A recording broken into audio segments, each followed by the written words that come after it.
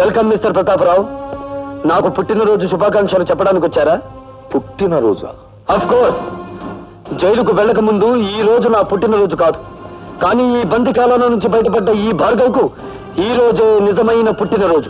Mister Bhargava ఒక నిర్దోషి దోషిగా జైలు గోడల మధ్య శిక్ష అనుభవించి బయటకు వస్తే అతని మానసిక ప్రవృత్తి ఎలా ఉంటుందో ఒక పోలీస్ ఆఫీసర్గా నేను ఊహించగలను. ప్రవృత్తిని ఊహించగలరేమో గాని ఈ రోజు నుంచి నా వృత్తిని మాత్రం మీరు ఊహించలేరు. ఎవరైనా ఎవరి నుంచైనా తప్పించుకోవచ్చు కానీ ఈ భార్గవరాముడి చేతుల్లో నుంచి తప్పించుకోలేరురా. నేను నీ పాలిటి మృత్యు దేవత నన్ను చంపి చేయకండి బాబు. క్షమించండి. క్షమిస్తాను. విధ్వంసకాండ పూర్తయ్యాక విశ్రమిస్తాను.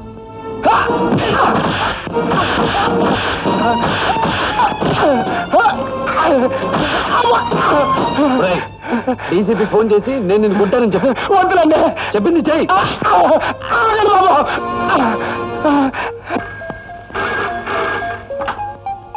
హలో. నమస్కారం నేను డీజీపీ గారు. నేను సదానందని మాట్లాడతాను. ఆ భార్గవ్ గారు నా ఇంటి మీద పడి నన్ను తుక్కురాగి కొట్టేస్తానండి షటప్ ఇంతకు ముందు కూడా ఇలాగే అబద్ధాలాడి అతన్ని జైలు పాలు చేశారు.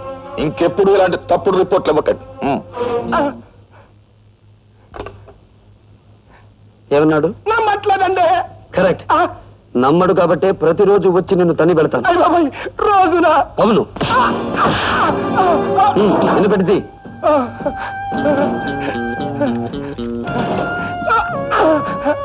ఇది నువ్వు నాకు ఇవ్వని ఫ్రిడ్జ్ వీసీఆర్ టీవీ ఫ్యాను కొనుక్కోవడానికి కావలసిన డబ్బు.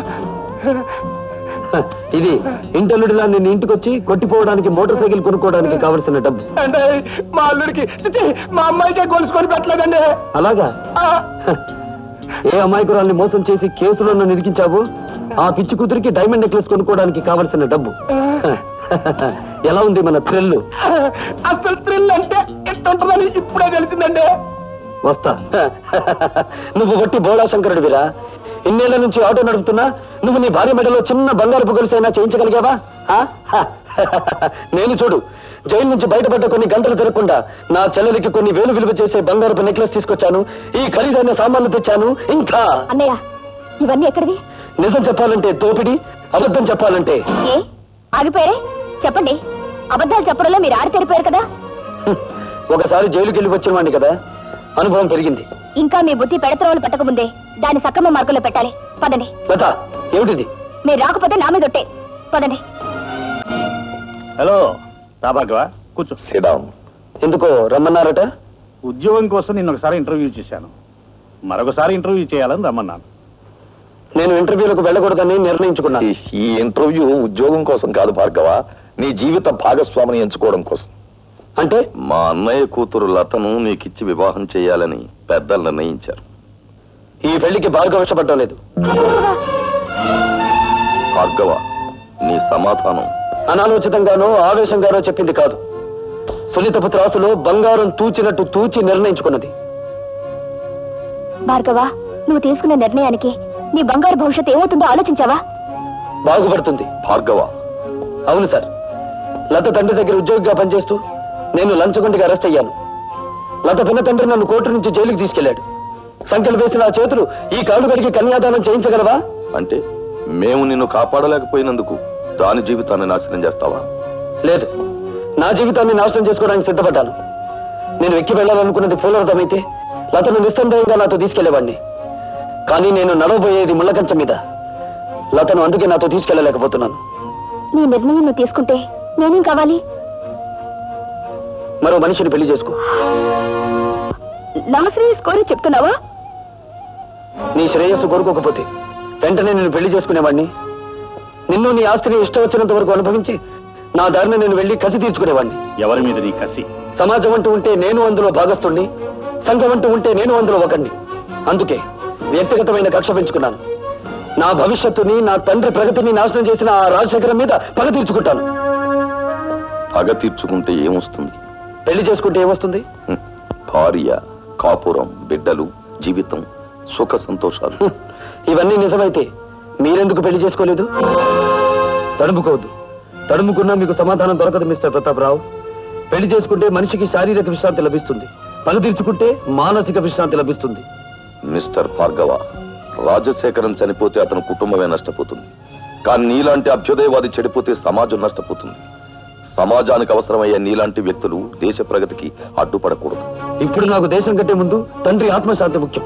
దానికోసం ఏదైనా చేస్తాను. అదే ఆఖరి మాట. కొత్త జీవితానికి మొదటి మాట.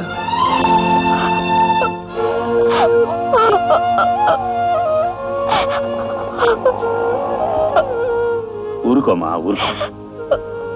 అతను ఎంత చెప్పినా వినే మనిషి కాడమ్మా. ఆవేశం చల్లారిన తర్వాత అతనే తిరిగి వస్తాడులే. వదలండి భార్గవ ఇదే పని నేను చేశానని కోపంతో నా చెంప పగలగొట్టారా. నేను అలా మీ మీద చేయి చేసుకోలేను. అందుకే నేను మీకు నమస్కారం చేస్తున్నాను. మీరు వెళ్ళిపోండి. రాజశేఖర్ మీద కక్ష సాధించాలనుకుంటే ఇలా కాదా. ఆ పని మీరు చేస్తానంటే నేను సాయపడతాను. రాజశేఖరం మీద నీకెందుకు పద ఆ పరమ నీచుడే మా నాన్నగారు చనిపోవడానికి బాధ్యుడు. నీ తండ్రి పేరు? జనార్దన్ రావు. రోజా మీ నాన్నను అడ్డం పెట్టుకుని ఏ వ్యక్తిని రాజశేఖరం హంతకుని చేశాడో ఆ ఠాగూర్ నా కన్న తండ్రి. అవును రోజా ఆయన జైల్లో చనిపోయే ముందు జనార్దన్ రావు కూతురు ఎక్కడున్నా వెతికి ఆమెకి ఇంత మేలు చేయమని కోరాడు. మేలా పని నువ్వు చేయలేవు. అది అనుకున్నంత సులభము కాదా? నా జీవితం నాశనం అయింది నా మేలు కోరితే రాజశేఖర్ మీద పగ సాధించా. ఈ అభాగ్యరాలు నీకు రుణపడి ఉంటుంది. వాడు ఎంత చూసి నీ తండ్రి ఆత్మకు శాంతి కలిగిస్తా. మరేం పర్వాలేదమ్మా. ఇదేం ప్రమాదకరమైన గాయం కాదు. ఏం జరిగిందమ్మా? ఆ దాసుగారి మనుషులు వచ్చి వద్దు పద్మ. జరిగింది ఏమిటో తెలిస్తే వాడు ప్రాణాల మీదకి తెచ్చుకుంటాడు. జరిగిందేమిటో నాకు తెలిసిపోయిందిరా. ఇక జరగాల్సింది రాజశేఖరానికి తెలియజేస్తాను. ఏడుస్తా తమ్ముడు.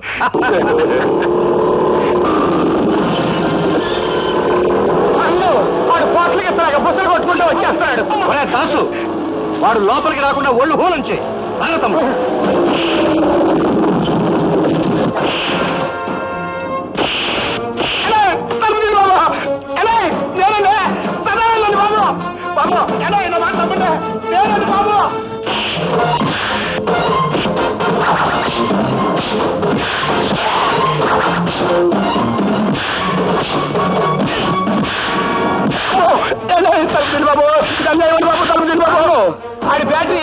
ఈక్ అవుతున్నట్టుంది తలుపు తీద్దామా? తలుపు తీస్తే అనవసరంగా భార్గవ్ గారిని మనం చంపాల్సి వస్తుంది. చెప్తానండి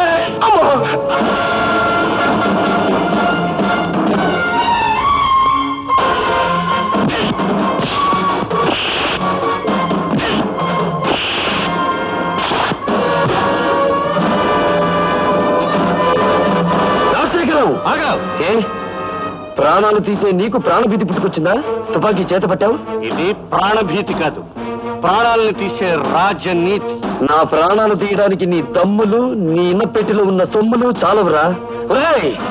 నా తల్లి శ్మశానంలో పిడికెడు బూడిదగా మారడానికి కారణం నువ్వు.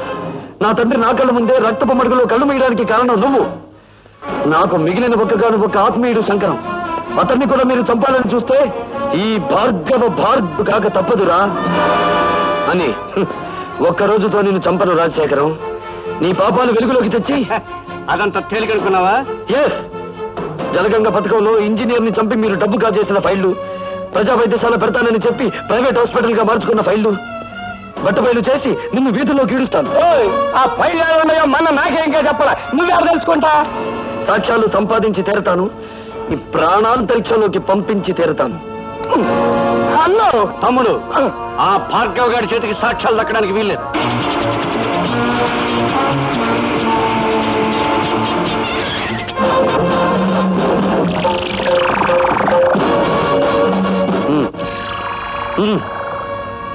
వస్తానండి. ఏంటి? ఏంటండి? పిచ్చి గాడిద ఊరు దాటించాల్సింది శవాల్ని గాని సాక్ష్యాల్ని కాదురా. పద police station?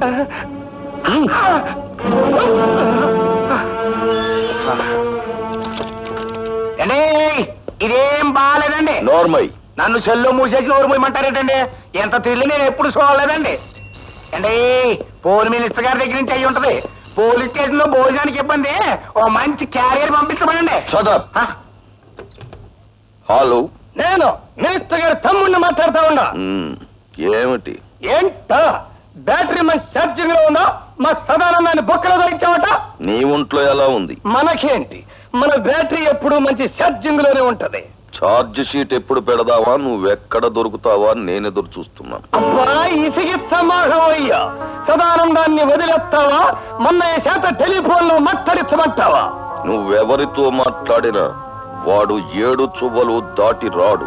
Put off the telephone అన్నాడ్రా జంజమా చెంచి నాకు ఫోన్లో మాట్లాడిన తర్వాత తమ్ముడు గారి పేసు సీటపకేలా నేను డైరెక్ట్గా ఫోన్ చేస్తే దాన్ని రికార్డ్ చేసి పార్టీ ప్రజలు పంపిస్తాడేమో అన్న భయంతో నేను ఫోన్ చేయమన్నాను. నే కాబట్టి సరిపోయింది అదే నువ్వైతేరా ఆ దుర్భిన్ దుర్బడికి ఒళ్ళు సిర్రెక్కి ఫైనల్గా బోనెక్కేవాడికి ఇప్పుడు ఎలా రా? సదానందాన్ని బయటికి తీసుకురావాలి కదా. నన్ను ఒక సెలవు లేని ప్లాన్ చెప్పమంటావా? చెప్పు. శాంతి దూత అన్నదాత అయిన సదానందాన్ని అన్యాయంగా అరెస్టు చేసినందుకు గొప్ప ఊరేగింపు తీయిస్తా అబ్బా ఊరేగింపులు రోజులు కావురా ఇవి. అన్నోయ్ శాంతంగా వెళ్తున్న ఊరేగింపులో దాసుగాడి మనుషుల్నెట్టి కొట్లు పగలగొట్టిస్తా. అబ్బా మీ లెవెల్కి కొట్లు బడ్డీలు బద్దలు కొట్టితే బాగుండదండి. ఆడవాళ్ళు తీసుకెళ్ళి శిలాలు దోసి అది మన లెవెల్. ఏంది రోయ్? నీ బ్యాటరీ ఛార్జింగ్ మొదలయ్యట్టుంది అబ్బా విషయానికి రండిరా. ఇంకా ఎస్ఐ అంది ఇన్నల్లర్లు జరగటానికి ఆ డీసీపీ గాడే కారణమని ఆడ శబ్ద మూలంగా నిన్ని ప్రాణాలు పోయినాయని మనం గొడవ చేస్తాం. అప్పుడు ఆడు ఉద్యోగం కోరికల్ని పీకినట్టు పీకేస్తారు. నిజమే. కానీ వాడి పగ పెట్టుకుని పాత ఫ్రెండ్ జరిగాడు కదా. పాత పైళ్ళ అంటే మనం డబ్బు దుబ్బేసిన అడ్డ రోడ్డు తూరు పైళ్ళ అదొక్కటే కాదురా. ప్రజా వైద్యశాల అని ప్రభుత్వ అప్లికేషన్లో రాసి ప్రైవేట్గా దాన్ని నడుపుకుంటూ లక్ష లక్షలు సంపాదించి కోటి సోదరులు వాళ్ళు నిరూపించారంటే ఇరవై సంవత్సరాల్లో మనం సంపాదించిన డబ్బంతా వడ్డీ పెనాల్టీతో సహా ప్రభుత్వానికి కట్టాలి. అసలు ఈ దెబ్బతో ఆడు ఉద్యోగం ఊడిపోతుంటే ఆడించేసేస్తాడండి. అంతగా అవసరమైతే మా అయ్యకి కబురు చేయండి. మింగేస్తాడు. జం జమా సచ్చం చనాకే. చాలా ఆనందం